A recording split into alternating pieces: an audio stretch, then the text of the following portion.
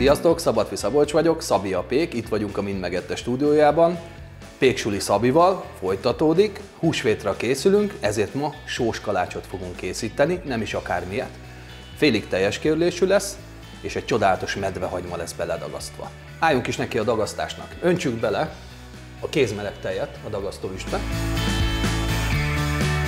Tegyük hozzá az élesztőt,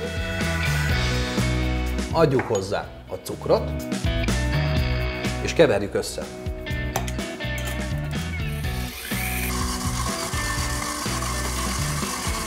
Miután az élesztőt a tejjel és a cukorral elkevertük, fogjuk meg a teljes körlésű lisztünket, és szórjuk meg egy picit a tetejét.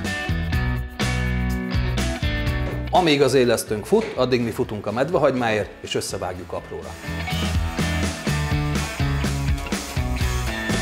Ha az élesztőnk felfutott, akkor mehetünk tovább a dagasztással. A fehér lisztet átszitálhatjuk. Ennek a szitálásnak két oka van. Az egyik a szennyeződéstől való megtisztítás, az esetleges szennyeződéstől, a másik viszont a levegővel való dúsítás, ez segíteni fogja majd a keltésztánkat. A teljes körülésű lisztet viszont nem szabad átszitálni. Mehet bele a tojás, hozzáadhatjuk a sót. Először lassú járaton összekeverjük az alapanyagokat. Amikor a tésztánk már összeállt, akkor adjuk hozzá a mangalica zsírt.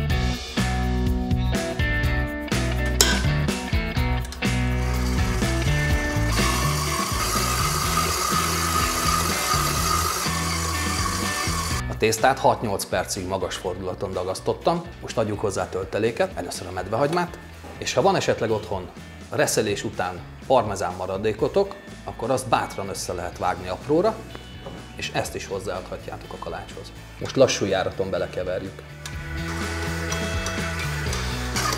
Meg is vagyunk.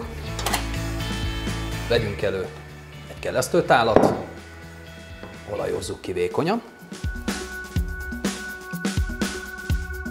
Nem kell megijedni, ha első ránézésre a tészta lágynak tűnik, hiszen itt az érésidő során ez a teljes körlésű búza még magába fogja szívni a nedvességet, úgyhogy folyamatosan keményedni fog. Jöhet a siker érdekében elengedhetetlen baboskendő, amivel letakarjuk, és körülbelül 45 percig békén hagyjuk. A tésztánk megpihent, folytassuk tovább a munkát vele. Enyhén lisztezett deszkára borítsuk ki, nem kell sok lisztet használni. Hosszuk 12 egyenlő részre, mi körülbelül 75 g. A kimért tésztáinkat gömbölyítsük fel.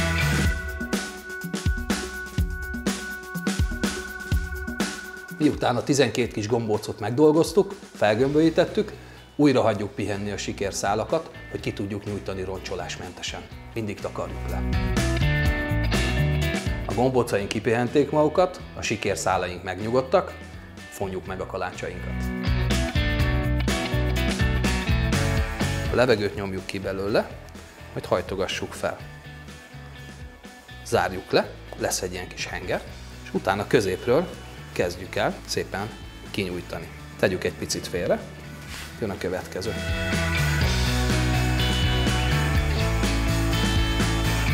Miután ezzel meg vagyunk, én általában a sós kalácsot egyenes hosszú tésztaszálból fonom, nem hasasból, mint az édes kalácsot. Nyújtsuk meg jobban a tésztaszálakat, és legyenek egyenletes vastagok.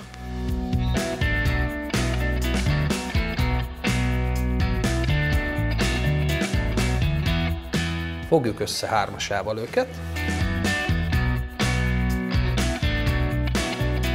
Sípjük össze a végét. Határozottan válasszuk el, a két-hármas bolyt, és hívunk segítségül egy tárgyat, amivel lesúlyozzuk a végét. Utána a kezünket keresztbe rakjuk, megfogjuk a két szélső tésztaszálat. Felemeljük, majd megtekerjük, a jobb kezemet lerakom bal oldalra. Ahova letettem, onnan felveszem a külső szálat, de most a másik kezemet teszem le. Az ellenkező oldalra széléről felveszem, középre leteszem. Ahova letettem, onnan felveszem, ide leteszem. Felveszem, leteszem. Alakítsuk ki a végét, és egy ilyen szép, egyenes, hatos vonásunk lett. tegyük a papírral bélelt sütőlemezre, és ugyanígy járjunk el a másik kalácsunkkal is.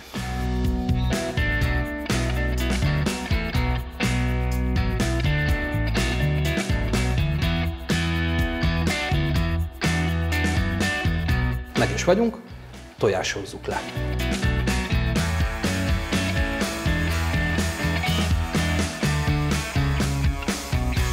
Az első tojásozással meg vagyunk, most megkelesztjük a kalácsokat, közben a sütőt alsó-felső sütési fokozatban 195 fokra melegítjük, nagyjából 35-40 perc múlva megyünk is a sütőbe.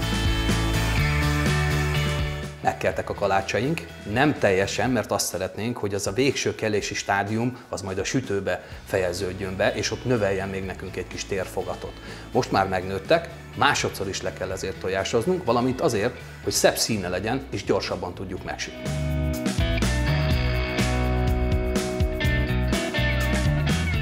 Dekoráljuk még egy picit a kalácsainkat, rakjunk rá szezámmagot, ez ízben és textúrában is hozzájárul majd az élményhez.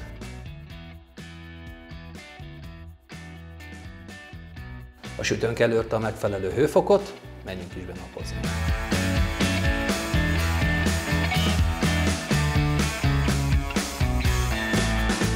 Az illatokból és a színekből úgy érzem, hogy már megsült a kalács, hozom is.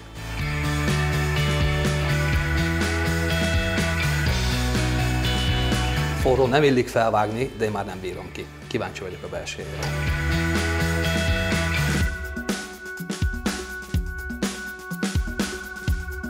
rettentő foszlós lett.